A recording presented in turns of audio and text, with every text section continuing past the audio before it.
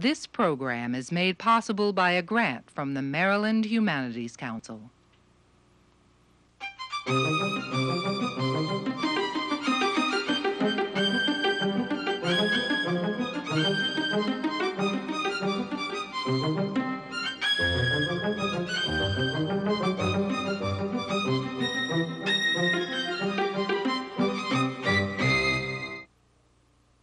Francine du Plessix Gray talks with David Levering Lewis.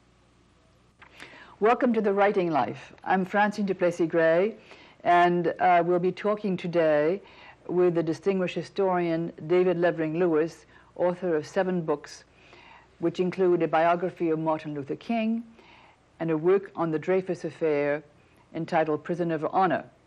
His very last book, the first volume of his monumental biography of the Afro American scholar and activist W.E.B. Du Bois, broke all records by gleaning the three most distinguished prizes awarded for the writing of history the Pulitzer, Parkman, and Bancroft Prizes. Welcome, Dr. Lewis. Thank you. It's good to be here. Uh, in what way did your biography of um, W.E.B. Du Bois, or in what way is it revising? Because it is still in process. There will be a second volume expected in a year. In what way, in what major ways is it revising earlier views of Du Bois, both as his point of view of his character and of his career as an activist? Um, it uh, probably uh, is, is less uh, revisionist than it is uh, completing. Uh, the, uh, the life of Du Bois is, is, a multifaceted one that touches upon, oh, I think virtually any issue of consequence uh, uh during much of this century. Uh, and so it's been a matter of simply tracking Du Bois as he has an impact upon and reacts to major issues of feminism, of socialism, of civil rights, of indeed historiography. And doing that through the enormous correspondence that he left behind, as well as primary and other secondary materials. I probably in the personal domain, though, uh, am uh, making a contribution. Uh, because there has been an iconic uh, texture to much of the uh, appreciation of Du Bois. And he turns out to have been uh, quite, a, quite a complex man who knew that he would have biographers and therefore set traps for them. Uh, he uh, was a master at reconstructing history so plausibly that you never suspected that, uh, in fact, uh, these things, if not uh, uh, that, that, he reports, if, if, not fanciful, are in fact manufactured for the purpose of enhancing his posterity. I, I, don't mean to suggest that he was in any way fraudulent, but that Du Bois... Self-mythologizing, would you say? yes, yes. And so I've been especially attentive to, to that aspect of his life, and I hope I've, I've unmasked a great deal of the, the um, um, stage management of uh, his life uh, done by him. Um, since W. Du Bois had strong opinions about just about everything that was occurring in American culture in his time, uh, how do you feel he would look on the general racial situation in the United States today in 1995? And how would he look in particular on such current issues as the Million Man March and the aftermath reactions to the O.J. Simpson verdict? Well, you've just, I think, given us another program, uh, Francine. so. uh, and, uh, and, and, there's a good deal, a bit of prophecy entailed in part of your question, and I, I, am a little chary of, uh, of speculating upon what um, um uh, a, a, person would think of events long after he or she is, is gone.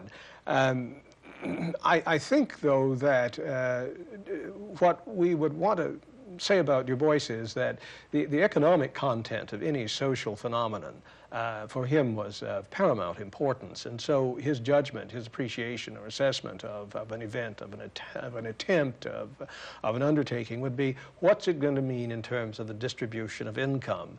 What's it going to mean in terms of the empowerment of ordinary men and women? Uh, what about opportunities for equality based upon uh, a march a, a, piece of legislation. Uh, and he would, I think, scrutinize the recent uh, Million Man March, certainly in those terms, and wonder beyond the spectacle and beyond the poignancy of bonding uh, and the fine statement that those 800,000 odd men made, uh, what the sequel uh, must and should be. And there I think he would, uh, he would be somewhat perplexed. And perhaps indeed uh, a sense of uh, a puzzlement would, uh, would be propelled by the atonement theme of the march. in a sense, victims were atoning for their sins, he might say. That is to say, uh, of course, he would also, uh, parenthetically, uh, be concerned about the exclusion of women from the march, whatever the, raison, the rationale, being a feminist, a militant feminist. But I think he would, uh, he would wonder if it was atonement that was appropriate that day, or whether uh, a claim against uh, the establishment might have been more appropriate. Mm -hmm. Mm -hmm. Uh, where do you think he would situate himself within the current uh, field of uh, African American culture and politics? Do you think he'd be, be more likely to hang out with uh, Charlie Rangel or um, with you or with uh, Cornel West or with Skip Gates, who all represent rather distinct sectors of the African American culture? I don't know what sector I'm, i might be uh, uh, uh, thought to represent, but I would like him to hang out with me simply because it would be awfully good company for me. yes. Uh, he, um, I, I, I, suppose with, with politicians were not Du Bois's favorite uh, types, and so with all due respect to uh, Congressperson Rangel, probably not. He might give him a pass. I think he would be uh, uh, uh, enchanted by the kind of protean um, um, productivity of Henry Louis Gates, professor of history at, of literature at Harvard and a contributor regularly to the New Yorker magazine and an editorialist, essayist. He would find him, I think, in, in, engrossing. Uh, what he would say about specifics of ideas, uh, I'm, I'm, not, uh, not, not so sure. Yeah. Yeah. And how would you think he would look on the potential presidency of uh, General Colin Powell? Well, this really is punditry now, and uh, uh, my crystal ball uh, is, is a little cloudy. Again, I think I would uh, think that he would wonder what the real meaning of the candidature is. And he, with his uh, skew on politics, take on politics, would I think not find the Republican agenda and the contract on or with or for America uh, something that uh, was uh, uh, positive. And so, to the extent that General Powell uh, inches in the direction of accepting or being invited to be either the, the standard bearer or the second on the ticket, uh, insofar as that uh, ideology or that uh, position of the party is not uh, ameliorated, softened, and brought somewhat leftward, I think he would he would not be uh, uh, not be um, uh, find, find the candidacy appealing, however appealing the man himself. He might be wary. He would probably prefer a, a third-party candidacy. I think so. I think so. Yes. He, after all, uh, supported Henry Wallace in that yeah. last turning point option we have had in American politics in 1948. Uh, yes, I don't know that this third-party option with the Perot uh, group would uh, would uh, appeal to him. It's it's pretty complex. Unfortunately, since I'm an historian, I don't have to give yes. accurate answers. In yes. fact, I shouldn't answer at all. I suspect. Um, let's talk more technically about the writing of biography in general. It strikes me that one of the most important things a biographer has to do is very soon, within his first pages, initiate a kind of pact of trust between himself and the reader. Of course, this is uh, something which has to be done in all literary works, uh, including fiction and essays. How would you say you go about creating a pact of trust with the reader when you are writing about a figure as complex as, uh, the, as Du Bois? I think uh, it's a no holds barred uh, enterprise. Uh, you become increasingly invested in the life of your, your person. Uh, and there are times when disappointments can be quite bitter. and there's a temptation to protect the person, to protect his luster. I think one must resist that always. I think one must be ruthlessly uh, candid. I don't like the word objective because it, in a sense, is meaningless, but insofar as it has meaning, abide by its dictates. Uh, because in the end, uh, the character is stronger. I uh, wrote uh, what was uh, the first scholarly biography of Martin Luther King many years ago, about 25 years ago.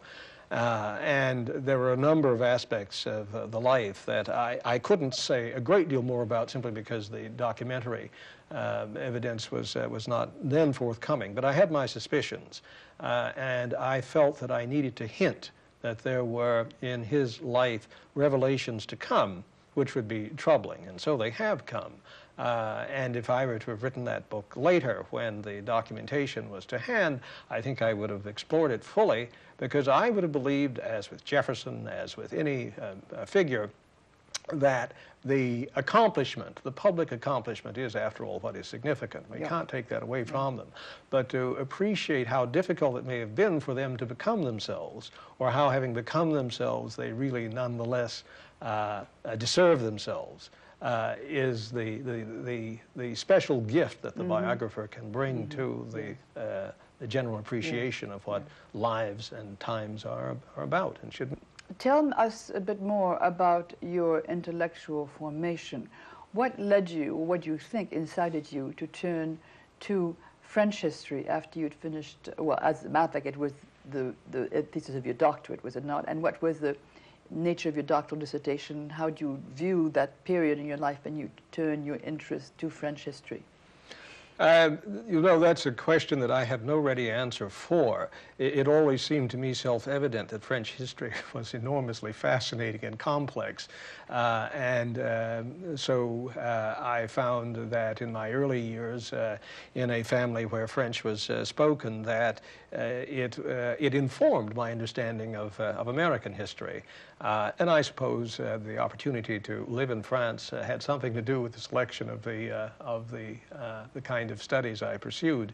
Uh, and the dissertation I did, my goodness, I hadn't thought about that in years. What was it? It had something to do with uh, the crisis in French liberal Catholicism uh, in the interwar period, with special attention to the Esprit group and Emmanuel Mounier. Oh, yes. And uh, that's interesting, isn't it? Because yes. what fascinated me was beyond uh, Mounier and his group, and it was a fascinating group of uh, ex Catholic and, existentialists. And yes, yeah. Uh, was the uh, enterprise of combining uh, Catholic uh, doctrine and Marxism. covertly enough, not to fall under the censure of those who scrutinize this. And I thought that was a fascinating yes. in, endeavor. And I suppose that there's been a kind of consistency in, in my uh, writing of, of, history and biography that, that I look for those tensions where uh, principles and pragmatism or the squaring of differences uh, uh is, uh, is, the, uh, is the, the, the effort to, be, to be described. Mm -hmm, mm -hmm. Mm -hmm. And what in particular led to you to write your second book on, um, on the Dreyfus affair? That came after the uh, the King book, and the King book was really a, a lark in the sense that uh, a a Penguin editor whom I had known in uh, England persuaded me to uh, to write it, uh, uh, just as I was in fact writing another sort of book in French history. well, the, the, there there's a famous cache of documents. Uh, in the military archives in France at the Chateau de Vincennes called the Dossier Secret never seen by anyone except one person, the uh, curator of manuscripts at the, uh, at the Bibliothèque Nationale, Monsieur Marcel Thomas, in those days. And I wanted to see what was there. And I was the second person to gain access to those documents, which were the fabricated documents that the Army had prepared just in case Dreyfus was going to be uh, rehabilitated. But it turned out that they were so badly done that they uh, couldn't and shouldn't have been used. They couldn't be destroyed, and so they were locked away. Mm -hmm. And uh, they uh, give a particular tincture to that whole mm -hmm. brilliant, seamy uh, story. Did they involve Esterhazy? Uh, these uh, did, but what they were more of a, of a, of a moral nature to, Yes, uh, to yes. undermine uh, Sure. some of the cast of characters. Yeah. Sure, yeah. mhm. Some- To get back to the national scene, um, do you find uh, that uh, the tensions and divisions within the Afro American community today, how do you compare them to the tensions uh, in the African American community in the first decade of the century when, when the great division between Booker T. Washington's leadership and uh, Du Bois' leadership was already making a considerable cleavage. How would you compare that kind of division to what exists today? The um, division of, of the turn of the century uh, does have echoes, it, it seems now, because I think the, the, the um, debate between Du Bois and Washington, beyond personality and temperament uh, of ideas, had to do uh, with class. Du Bois represented an urban, urbanizing, um, uh, fairly well educated uh, population, minuscule, of course, demographically, and Washington represented uh, the, the South in all of its realities and the compromise needed. Uh, it seems to me, and so what they said, they said because of the uh, constituencies they were trying to, uh, to privilege. Uh, we have that same kind of fissure now uh, as one third of the African American population moves into the mainstream, uh, albeit very, very uh, fragile in its, uh, in its um, achievements, and we have this vast uh, underclass or uh, uh, group of, uh, of people who are not making it and are, even more, uh, more, more savagely uh, impacted. Uh, and the crisis, however, reflects itself in a kind of mutism, which was not present at the beginning of the century, which is curious. That is to say, those people who are the talented tenth, it seems today, are deferring to the crisis by silence and accommodation, uh, and uh, perhaps fear that to speak with certain voices risks to be co opted by the very people one needs to oppose, and a sense of guilt, perhaps, that having left that community, uh, they must not judge it uh, but indeed affirm it by silence or by indulgence. And so we have moral dilemmas that uh, they've always been there. Uh, that are especially acute now, it seems, because this is the very moment, it seems to me, when uh, a, a turning point uh, is presenting itself, and without the proper, uh, vigorous, robust input of uh, those people who look towards the long uh, uh, uh, uh, hole in history, without their input, we're likely to have responses to crises that are instantaneous, that are psychic, uh, that are um, pathological even. Uh, and so, uh, though the, the class divide is even greater than it was at Du Bois's time, uh, the cl- one class, it seems, uh, has decided to, uh, to, to remain rather invisible. Uh, what could you further define the nature of the turning point that you're presently encountering in the African American community? In its simplest terms, it seems to me uh, that uh, 10 or 12 percent of the population has to be mindful of just that fact. Uh, and that uh, if there are serious systemic problems, the only way to address them, to grapple with them, is in co- uh, cooperation and collaboration with others whose economic interests uh, somewhat correspond. And I, I mean, others of, of non-African Americans. Of non-African I see. A, a, Americans. a, So the pan, whole- a pan poverty alliance. the whole ball of wax of gender Yeah. issues and class issues and economic issues, all of those things, it seems to me, have to uh, uh, be stitched together. Uh, and uh, what is happening now is rather the withdrawal, uh, apparently, of uh, African Americans from that activity in a kind of uh, um, morality play in which, having suffered so, uh, we have a right indeed to, uh, uh, to um, uh, uh, privilege our, our, our history as, as victims. Well, that's all well and good, but uh, history can only give you so long a ride. And at some point, it seems to me, one has to uh, look at what the problem is, which is a problem that goes quite beyond slavery or color and has to uh, do with the way industrial democracies are functioning. Uh, there is a report uh, just out by a Luxembourg study group that shows that the uh, inequality in the United States and income is greater than in any industrial democracy and getting rapidly much greater, whereas in other countries, uh, Portugal, uh, Canada, uh, Italy, in fact, the gap is um, uh, not widening, and certainly not widening in Britain and France at, at that rate. This is, it seems to me, the root of the problem of the period. Uh, mm -hmm. And uh, until groups, blacks, and uh, that uh, uh, middle class that is fraying begin to talk in those terms, it seems that wedge politics will continue mm -hmm. to give uh, us a national agenda uh, which uh, is disproportionately mm -hmm. beneficial to the, the super rich. Mm. -hmm. One last question. In a recent article in the New Yorker magazine, Henry Louis Gates, your colleague, um, interviewed um, a dozen or so leaders of the of the upper 10th, of the Talent 10th, uh, in, in the African com uh, American community. And almost all of them uh, told of specific acts of discrimination they had suffered, such as Earl Carroll was the most has the, the highest position in publishing of any African American country, head of Pantheon Books.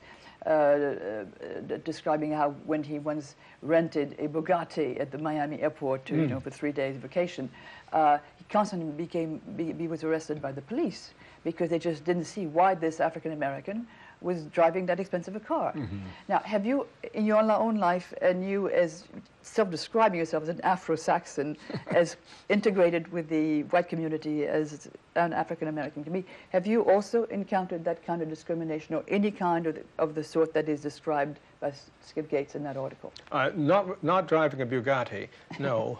um, uh, yes, I, I, I, I, have. The, the simple answer to that is yes.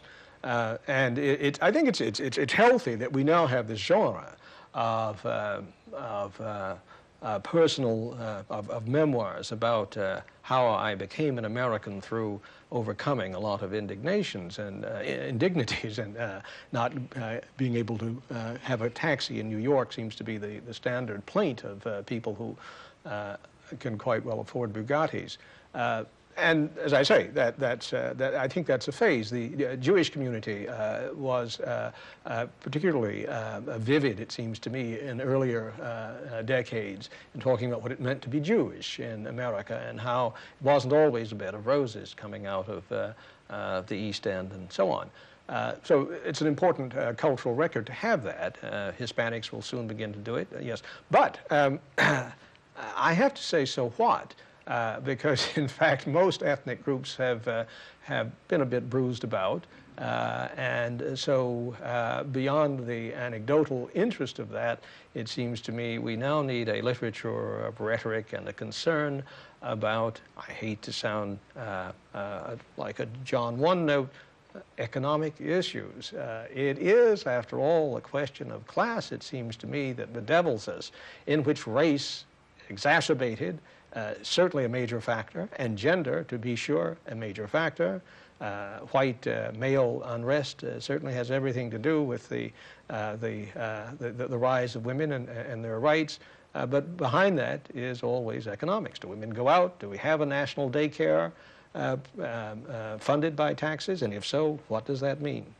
Thank you so much, thank you, David. Francine. Wonderful. It, it, was great. It was a pleasure. And thank you so much to our audience for watching The Writing Life I think that the um, it's.